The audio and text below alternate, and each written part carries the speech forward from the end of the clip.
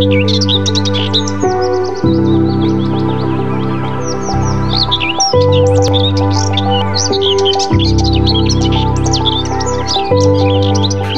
கர்த்தரும் இரட்சகருமாகிய இயேசு கிறிஸ்துவின் ஈடு இணையற்ற நாமத்தினாலே உங்கள் யாவரையும் வாழ்த்துகிறேன். கர்த்தர் உங்களை ஆசீர்வதிப்பாராக.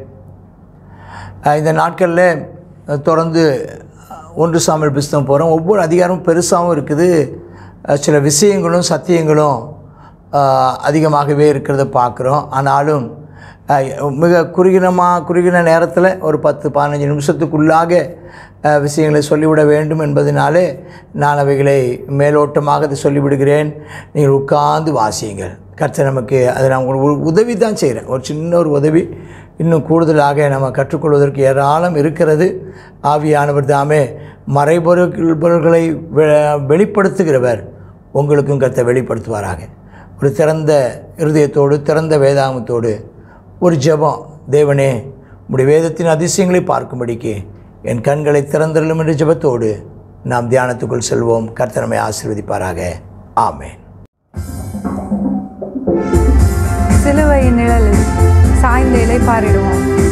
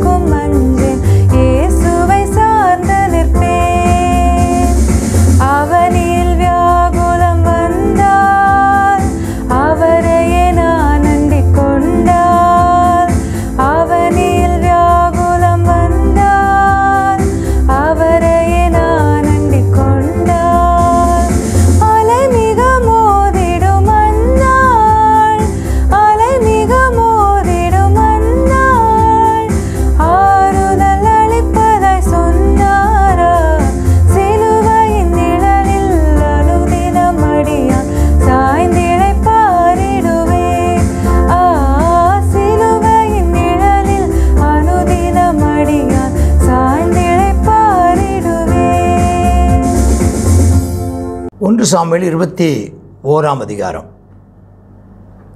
அப்போ இருபதாம் அதிகாரம் எப்படி முடிகிறது அப்படிங்கிறத ஞாபகம் வைத்து கொண்டீர்களா? அதாவது யோனத்தானும் தாவீதும் விழுந்து இதுக்கப்புறம் சவுலோடு இருக்கிறது சுத்தப்படாது. இந்த சுத்தப்படாதுங்கிறது இங்கே நாமக்கல் பகுதியில் உள்ளது. ஒத்து வராது. இனி நாம் என்ன செய்யணும்? போகணும்னு சொல்லிட்டு அவன் எழுந்து புறப்பட்டு போகிறான் யார்? தாவிது. யோனத்தான் பட்டணத்துக்கு போயிட்டான். இப்போ இந்த ஸ்டேஜில் நேராக அவன் எங்கே போகிறான்னா தாவிது எங்கே போகிறன்னு தெரியாமல் தாவிது நோபில் இருக்கிற ஆசானாகி அகிமெல் அகிமலேக்கின் இடத்திற்கு போனான். நோபுங்கிறது வந்து இதுக்கு அடுத்து கொஞ்சம் தூரத்தில் இருக்குது. எருசு அந்த இதிலிருந்து பத்திரிகைகளிலிருந்து எருசலேம் பக்கத்துலேருந்து இருக்குது. அங்கே அவன் போகிறான் அந்த கிபியாவுக்கு பக்கத்தில். கிபியாவுக்கு அடுத்து கிபியாவிலிருந்து தான் போகிற இடத்துல பார்க்கும் அப்போ நோபில் இருக்கிற ஆசன் அகிமிலேக் இந்த அகிமிலேக்கு யாருன்னு கேட்டிங்கன்னா இக்கோபோத் வம்சாவளி ஏலியினுடைய வம்சாவளி. அந்த நாட்களில் நோபில் தான் என்ன செஞ்சிருக்கு? ஆசிரியப்பு கூடாக இருந்திருக்கு. நோபு அப்படின்னு சொன்னால் ஒரு உயரமான இடம் அப்படிங்கிற ஒரு அர்த்தம் உடையது ஆமாம் நல்ல பழங்கள் கனி அப்படி கொடுக்குற இடம் அப்படிங்கிற ஒரு அர்த்தமும் நோபுக்கு உண்டு. சரி. அப்போ அகிமிலேக்க வந்து தாவீதை பார்த்தோன்னே நடுக்கத்தோடு ஐயா என்னங்கய்யா நீ ஒருத்தராக வராமல் ஒன் நீங்கள் நீங்கள் ஒருவராய் உம்மோடு கூட கூட வராமல் ஒருவரும் உம்மோடு கூட வராமல் நீ ஒண்டியாய் வருகிறது என்ன? என்று அவனை கேட்டேன். அப்போ தாவிது ஆசானை பார்த்து ராஜா எனக்கு ஒரு காரியத்தை கட்டளையிட்டு நான் உன்னை அனுப்பின காரியம் உன்னை கட்டளையிட்டு இன்னதென்று ஒருவரும் அறியாதிருக்க வேண்டும் என்று என்னோடே சொன்னார். இன்ன இடத்துக்கு வர வேண்டும்னு சேவர் சொல்லியிருக்கிறேன் அப்படின்னு சொல்கிறார் தனியாக போன. அப்போ இந்த இடத்துல தனின்னு சொன்னாலும் பின்ன இருக்கிற விஷயத்தை நம்ம பார்க்குறோம். ஆமாம் என்ன பார்க்குறோன்னா கொஞ்சம் பேராக போயிருக்காங்க. தனின்னா அவன் நினைக்கிற மாதிரி ஒண்டியான என்ன அர்த்தத்தை சொல்லலாம்னா அதிகாரிகள் அதிபதிகள் இராணுவம் அப்படி இல்லாமல் ஒரு குரூப் கொஞ்சம் ஒரு சின்ன ஒரு குழுவாக அப்போ அறியாதிருக்கவன் சொன்னார் அப்படின்னு சொல்லி. இங்கே ஒரு யுத்த தந்திரம். நான் அடிக்கடி இதை கொஞ்சம் கோடு போட்டு காட்டுறேன்லவா இதில் இதில் நிறைய விஷயங்கள் நம்ம கற்றுக்கொள்ளக்கூடிய விஷயங்கள் இருக்குது நிறைய விஷயங்கள். ரகசியம் காக்குதல் அப்படிங்கிற விஷயங்கள் எல்லாம் நம்ம பார்க்குறோம். இப்போ இதனுடைய முழு விவரம் ஆஹ், அகிமிலக்கு தெரிய வேண்டாம் அப்படிங்கிறது வந்து இதனுடைய அர்த்தமாக இருக்கும் அப்படின்னு நம்ம எடுத்துக்கலாம். சரி. இப்போதும் கையில் என்ன இருக்குது? ஐந்து அப்பமாக என்னவா இருந்தால் கொடுங்க வயிறு பசிக்குது அப்படிங்கிறான் அப்போ பரிசுத்த அப்பம் இல்லைன்னு. அப்போ சாதாரண அப்பம் என் கையில் இல்லை. வாலிபர் ஸ்திரீகளோட மாத்திரை சேராதிருந்தால் கொடுப்பேன். அப்போ இங்கே ஒரு அர்த்தத்தில் ஒரு பரிசுத்தமாக இருக்கணும் அப்படிங்கிறத அவர் சொல்கிறார் ஒரு பரிசுத்தம். அதாவது தீட்டுப்படாமல் இருக்கணும் அப்படிங்கிற ஒரு வார்த்தை. அடுத்து தாவீது ஆசானி பிரதித்திரமா நாங்கள் புறப்படுறதுக்கு நான் முன் நேற்றும் முந்தானம் அப்போ ரெண்டு நாளாக அவங்க வர்றாங்க. ஸ்திரீகள் எனக்கு விளக்கமாக இருந்தாங்க. வாலிபருடைய அசம்பிகளும் அசம்பிகள்னு சொல்வது என்னென்னா உடைமைகள் சுத்தமாக இருக்கிறது. இன்றைய தினம் வேறு அப்பம் பாத்திரத்தை பிரச பிரதிஷ்டை பண்ணப்பட்டதுனால இது சாதாரணமாயிற்று அப்படிங்கிற அந்த எடுத்த அப்பத்தை. இதை இயேசு கிறிஸ்து சுட்டி காட்டுறார் இந்த சம்பவத்தை.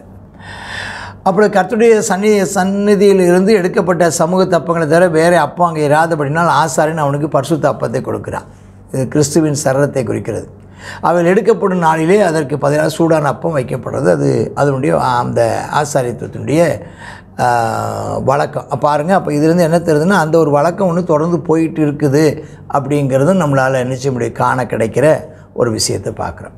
சரி அங்கே அந்த நேரத்தில் சவுளுடைய வேலைக்காரில் ஏதோமினாகி தோவேக்குன்னு ஒருத்தன் அங்கே இருந்திருக்கிறான். பேரில் ஒருவன் அன்றைய தினம் அங்கே கத்துடைய சின்ன தடைப்பட்டிருந்தான். அவன் சவுளுடைய மேய்ப்பருக்கு தலைவனாக இருந்தான். இவன் அங்கே இருந்தானா இவன் கூட போனானா அப்படிங்கிற ஒரு இது. அவன் இந்த தோவைக்கு அவன் கற்று தடைபட்டிருந்தான்னா ரெண்டு காரணத்தினால தடைபட்டிருக்கலாம். ஒன்று பரிசுத்தம் இல்லாததுனால தடைபட்டிருந்திருக்கலாம். இன்னொன்று அவன் விருத்த சேதனம் இல்லாதவனாக இருந்திருந்தால் தடை பண்ணப்பட்டிருந்திருப்பான் அப்போ அவன் விருத்த சேதனம் இல்லாதவனாக இருந்தும் தடைப்பட்டிருக்கலாம் பரிசுத்தம் இல்லாதனாலும் தடைப்பட்டு அப்போ தடைப்பட்டு போயிருந்தான் அப்படிங்கிறத பார்க்கணும். அடுத்ததாக எட்டாம் வசனத்தை தாவித அகிமிலைக்க பார்த்து இங்கே உங்களுடைய வசத்தில் ஒரு ஈட்டி ஆகிலும் பட்டயமாகிலும் இல்லையா? ராஜாவின் காரியம் ரொம்ப அவசரங்களால் பட்டயத்தையும் நான் ஆயுதங்களையும் நான் எடுத்துகிட்டு வரல அப்படிங்கிறேன் அப்போ அவர் சொல்கிறார் நான் ஏழே நீர் ஏழே பள்ளத்தாக்கிலே கொண்ட பெலிஸ்தன் ஆகிய கோழியாத்தின் பட்டயம் இதோ ஏபோத்துக்கு பின்னால் ஒரு புடவையில் சுற்றி சுருட்டி வைத்திருக்கிறது அப்படிங்கிறார்